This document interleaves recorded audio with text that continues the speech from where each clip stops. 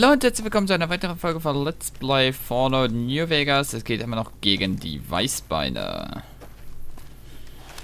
Und wir erkunden heute die nächsten Sachen auf der Karte, während wir, ähm... Äh, um, um die Weißbeine können wir sie auslöschen. Eigentlich. Gucken hier erstmal, was das Wetgate ist. Dieses Ding hier wahrscheinlich, ne? Nicht. Hätte ich jetzt äh, so geraten. Muss ich da vielleicht oben drauf auf das Wetgate, damit das eher äh, getriggert wird quasi.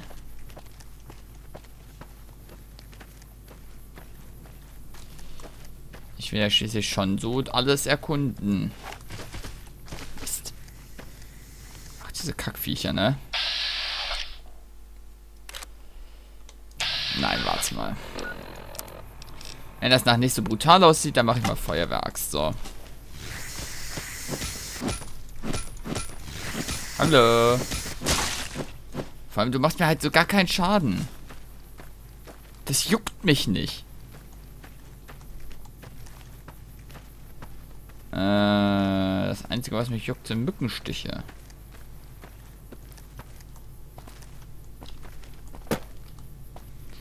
So. Ist hier das Red Gate dann? Aha.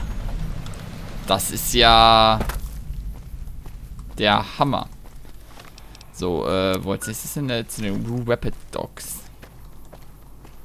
Na gut, das ist ein schöner Sniper-Punkt immerhin. Die da, unten.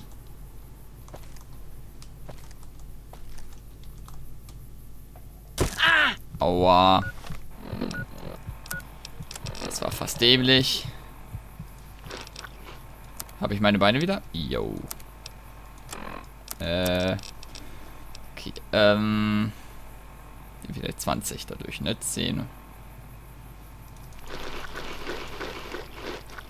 Äh, dann bin ich bei 350, 70, 90, 14.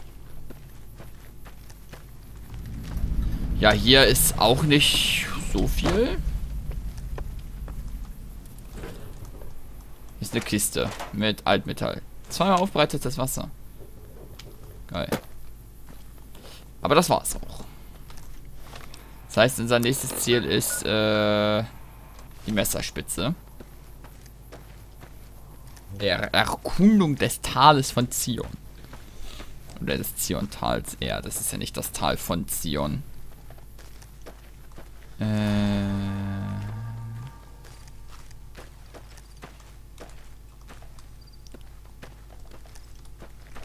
Aber siehst du das an, der, an dem Zustand auch? Ich habe ziemlich oft zugeschlagen und trotzdem, der Zustand hält sich.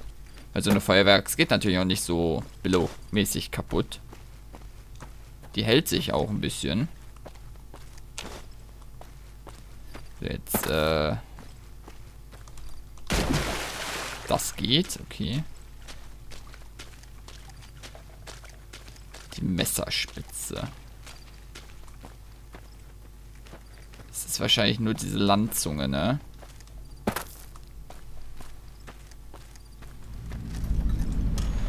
Ja. Ist auch nichts Besonderes dran. Also nehmen wir als nächstes den Virgin River. Das ist eigentlich da das Ganze hier. Oh.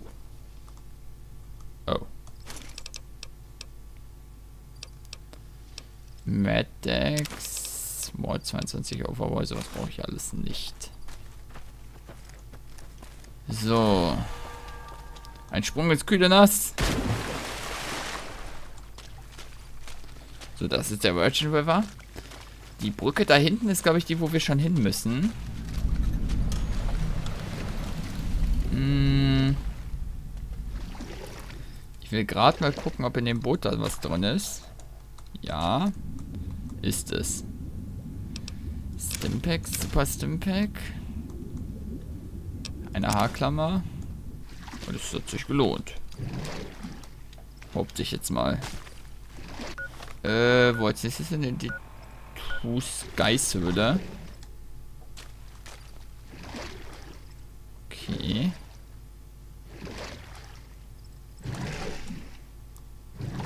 Wo ist denn die? Die ist ein bisschen rechts. Vielleicht nehmen Sie sein Wort mit sich, wenn Sie gehen. Dann ist das da auf dem Lande. Oder wie? Ich will die eigentlich gerne noch erkunden.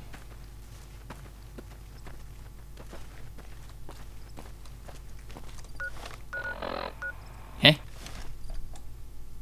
Dies ist der einzig sichere Pfad zwischen den Narrows und Pine Creek. Diese Fallen werden Sie in Stücke reißen. Was sollen wir dagegen unternehmen? Entschärfen Sie die Fallen, wenn Sie können. Oder finden Sie die Weißbeine, die Sie gestellt haben, und vertreiben Sie sie. Unsere Kundschafter sollten mit Ihnen fertig werden, solange Sie nicht gleichzeitig Raider abwehren müssen. Die Fallen müssen woher kommen. Ich wette, die Weißbeine, die sie gestellt haben, sind noch dort. Ich denke, Sie haben recht. Vielleicht sollten wir sie finden, bevor sie noch mehr Fallen stellen. Also kümmern wir uns darum. Wie Sie wünschen. Sir. Bitte dann schon mit Sir. Tu Sky Sir? Wie? Wo? Was? Ich speichere mal. Und, ah. Das war. Das war klug. Okay, was. Wow! Ich bin richtig zusammengezuckt. Oh, fuck.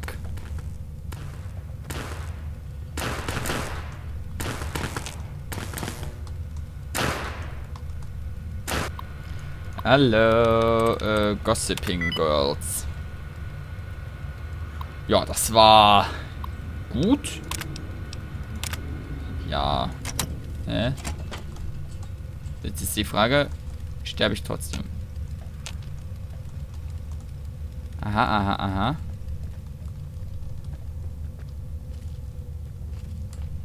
Was ist denn hier wieder?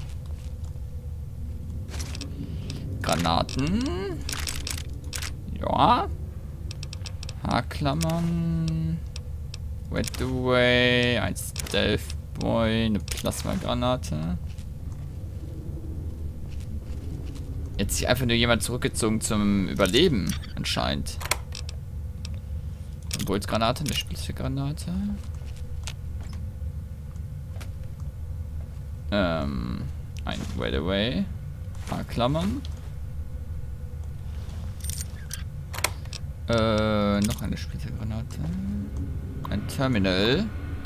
Jahr 2083, 5. Mai. Es, holt, er, es erholt sich mehr und mehr. Opuntie nebst Honigmissquete und Yucca-Banana zur Liste der Überlebenden hinzugefügt. Seltsame Knöllchen, Mutation, aber gefahrlos essbar. Ernte sehr vorsichtig. Niemals mehr als ein Fünftel. Jedes Mal, wenn ich Aussicht auf was zu essen habe, das nicht aus einer Dose kommt, läuft mir das Wasser am Mund zusammen. 7. Mai. Wolken von stechenden Fliegen beim umgestürzten Baum, den ich den Schläfer nenne. Kleine Blitze in den Wolken, libellengroße Viecher lähmen die Mücken im Flug und fressen sie. Das ist was Neues. 19. Mai. Großhornschafe. Eine Familie. Bock, Mutter und ein Junges. Gott verdammt nochmal. 20. Mai. Die Schafe waren anders. Bullig. Muttertier hatte geborgene, Hör äh, gebogene Hörner. Genau wie der Bock. Habe zuvor schon winzige Echsen gesehen, aber zum ersten Mal so große Tiere. Klopf auf Holz. 5 bis 10 Jahre Zucht. Frisches Fleisch. Leder, Hörner. Ich weiß, dass es Zeit ist, zurückzukehren, Schar, wenn der Winter vorbei ist. 2084. 14. Juni. Gerade zurückgekehrt. Erschöpft. Hab unterwegs gutes Zeug erreichen können. Konnte einen ganzen Wagen äh, voll heimkarren. Schreibe morgen. Schlafen. 15. Juni. Am 10. April losgezogen. Brauchte 15 Tage nach Salt Lake City. Früher wären es nur 7 bis 9 gewesen. Musste Stellen mit hoher Strahlung umgehen und habe unterwegs Sachen gesammelt. Keine Ahnung, was ich mir erwartet habe. Hatte mir vorgestellt, mein Haus zu finden, in den Trümmern zu graben, irgendwas zu finden. Deine Knochen und die von unserem kleinen Racker hatte ich gehofft. Hätte sie begraben, vielleicht hier in Zion. Salt Lake City besteht fast nur noch aus Kratern. Verbogene Stahlträger, wo hohe Häuser standen. Berge von Geröll. Habe unser Haus nicht gefunden. Nicht mal die Straße. Was kein Krater war, war kahl gebrannt. Ich möchte daran glauben, dass es schnell ging. Ein Blitz und Weide vaporisiert. Es geht mir besser mit diesen Lügen. Ich werde es nie wissen. Welcher Teil der Stadt wurde zuerst getroffen? Wenn es der Nordosten war, wart ihr beide in Sekunden tot. Wenn es weiter weg war, seid ihr schreiend lebendig verbrannt. Oder Glassplitter und Steine oder und Holzstückchen machten euch zu Hackfleisch. Sieh hin, Feigling. Hör zu. Dreh dich nicht weg. Stell dich. Wenn du mutig gewesen wärst, hättest du dir ein Plätzchen gesucht und dir das Hirn rausgeblasen. Aber du nicht. Du bist in aller Ruhe zurückgegangen und hast deine Einkaufstour rausgemacht. Schmarotzer. Der Truck stand immer noch auf der 77, nördlich von Spanish Fork. Der Quaestus auch, aber keine Spur von den Skeletten des alten Pärchens. Außerhalb von Neffi habe ich Spuren gefunden. Drei Männer gingen Richtung Found Green. Hab mir überlegt, ihnen zu folgen. Verrückte Vorstellung von Freunden, wohl eher Kannibalen. 20. Juni. Hab zwei Tage gebraucht, um eine Tür zu bauen und sie unter Strom zu setzen. Haus, Hausieren verboten. Arschlöcher, trautes Heim, verficktes Glück allein. 2095. 20. September. Ich habe 28 gezählt. Elf erwachsene Männer, acht Frauen, neun Kinder zwischen 2 und 10. Ein paar Gewehre und Pistolen in schlechtem Zustand. Alte Weltkleidung, schäbig. 22. September. Bis letzte Nacht nahe genug angekommen, um sie reden zu hören. Spa Spanisch, glaube ich. Aus Mexiko? Hab sie mehrmals Paradiso äh, sagen hören. Ich denke, sie bereut, äh, das bedeutet Paradies. Sie werden dann wohl bleiben. Schein harmlos. Scheinen. 5. Oktober. Die, die ich Maria nenne, ist schwanger. Ich denke, jo äh, José ist der Vater, aber sie verbringt auch viel Zeit mit Pablo. 7. Oktober. Pedro kam raus, um in den Fluss zu pinkeln. Hätte er nach links geschaut, hätte er mich gesehen. Das war zu knapp. Muss ihm mehr Raum geben. 10. November. José hat sich bei der Großhornjagd ein Bein gebrochen. Er war zu weit vom Lager entfernt, als dass sie ihn hätten hören können. Nahm mir vor, ihn rauszuhalten. Er mich rauszuhalten, konnte es aber nicht. Habe etwa 300 Meter vom Lager entfernt eine beste José-Imitation gegeben, bis es ein paar Nachschauen kam. Habe sie dann auf diese äh, Art bis zum Bergkamm weitergelockt, wo sie den echten José rufen hören konnten. Vermutlich vergeblich. Offener Bruch. 11. November. Infektion. So viele verdammte Worte sind fast identisch. Ich denke, ich könnte das fließend. Jedenfalls, Josés Bein ist infiziert. Er wird sterben. So ist die Natur. Natürlich versuchen sie es mit Beten. 12. November. Hab letzte Nacht eine Flasche mit Antibiotikum auf einem Felsen außerhalb ihres Lagers deponiert. Sie haben natürlich Gott, Deus, gedankt. Als ob dieses Arschloch es für angebracht hielte. Erst die Welt niederzubrennen, aber sich dann noch äh, so genug sorgen würde, Medizin auf einen Felsen zu legen. 15. November. José wird immer humpeln, aber davon abgesehen ist er in Ordnung. Eine gute Tat des Monats, ob sie den Winter überleben werden. Das ist anscheinend der Typ, der, äh, der, der, der, also das ist auf jeden Fall dieser Typ, der, den wir in der letzten Folge oder was das da gesehen haben. Äh, der äh, das war auf jeden Fall der aus dem anderen Terminal, der mit dem Wasser in der Höhle. Das klingt irgendwie pervers mit dem Wasser in der Höhle. Fuck, ich werde sterben! Ich habe nicht mal Schaden bekommen. Ich habe nicht mehr Schaden bekommen. Assad Salt Lake City muss es ja echt getroffen haben. Verstehe ich nicht. Das ist doch jetzt nicht so der super mega Stützpunkt.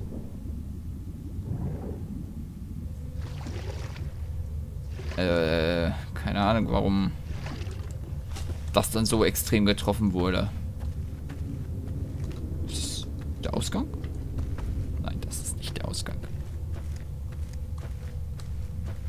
Ähm, aber interessant, die Geschichte von diesem Mann zu hören. Ich glaube, ich wäre so jemand gewesen, der hätte so ähnlich agiert. Auch wenn ich sowas richtig Gutes wie äh, Antibiotikum, glaube ich, nicht abgegeben hätte tatsächlich. Nahrung, Waffen vielleicht. Hätte ich ja abgegeben, aber ich glaube kein Antibiotikum. Was ist meine Aufgabe?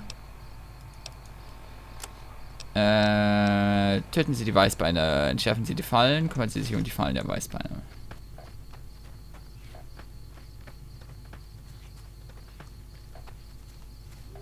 Aha.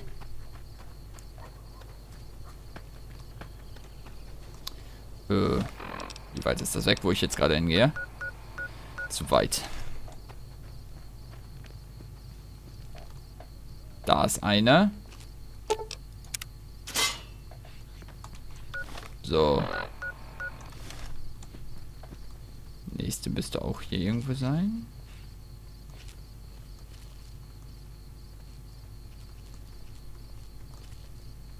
Ach da.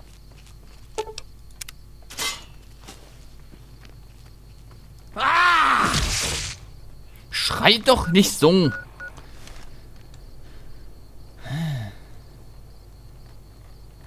Da sind auch noch ein paar Bärenfallen. Also ganz ehrlich, wer die, äh... Nee.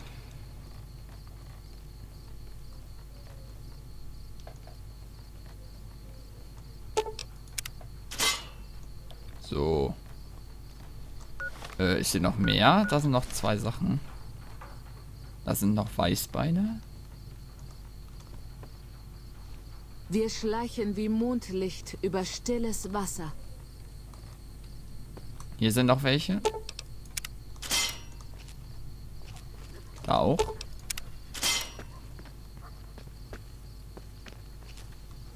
Oh. Hey, hey, hey. Oh, sorry. Na. Ich habe das hier unter Kontrolle. Gut, gut, gut. Hey. Daniel sagt, die meisten Menschen außerhalb Ja, ja. des Tals wandeln nicht auf dem Pfad des Vaters. Vielleicht nehmen sie sein Wort mit sich, wenn sie gehen. Vielleicht. Ähm. Das war einfach. Das ist in nächste Folge. Äh, Jaguar-Höhle. Ach, hier habe ich aber noch viele Sachen, die ich noch nicht entdeckt habe, fällt mir gerade mal so auf. Ich äh, mache hier aber gerade noch den Grat, wenn ich schon hier bin. Nehme ich den Grat auch noch mit. Der schmale Grat, auf dem wir wandern. Äh.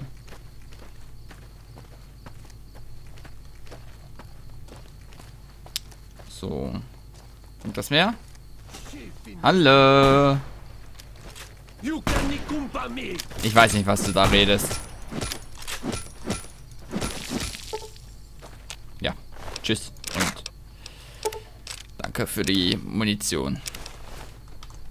Und die Waffen. Äh.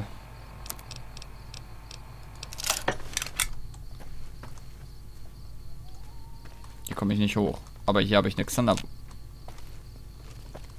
Daneben nicht. Ist jetzt nicht so, dass ich die unbedingt haben muss. Ähm, ich will den Grad noch erkunden.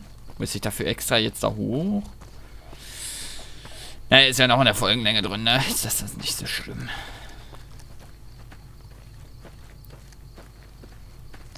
Aber wenn das, wo ich war, noch nicht das Lager der Weißläufe, Weißbeine war, wo ist das dann eigentlich? Fällt mir gerade mal noch so ein. Das muss ja irgendwo sein. Hier ist nur eine Banane. Nehme ich mit. Äh...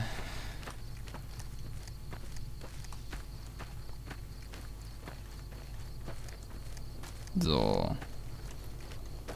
Versteckt, okay. Damit kann man immer einen guten Scan machen, ob äh, man einen Gegner in der Nähe hat, wovon man selbst nicht weiß.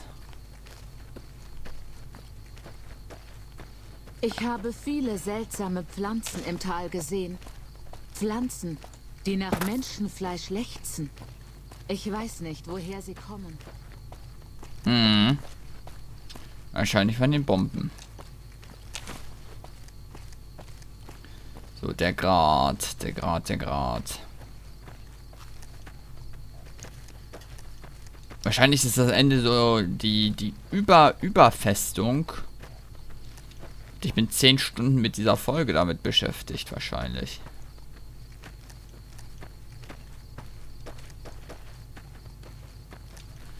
Ah, jetzt soll ich mal, mal langsam da sein. Das ist halt so ein richtiger Wanderweg.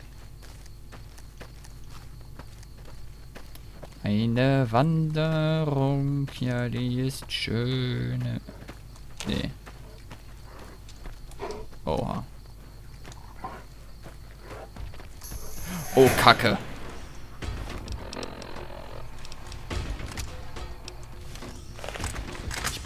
Äh, äh, ich, ich, ich nehme eine andere Waffe. Ganz schlechte Idee.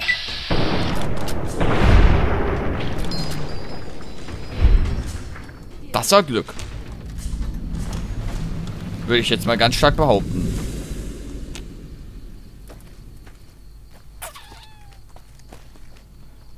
Ja, äh... Dann würde ich sagen, in der nächsten Folge äh, töten sie den Jaguar bei Pine Creek, bringen sie die Jaguar-Höhle zum Einsturz. Machen wir das in der nächsten Folge.